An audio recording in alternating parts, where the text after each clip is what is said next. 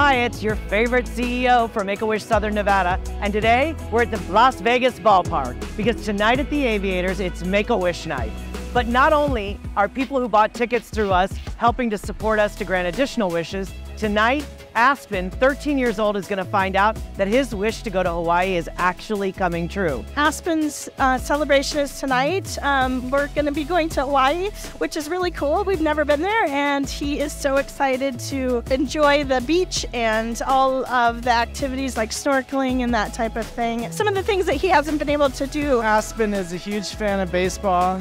It's his favorite sport. We go out and throw balls.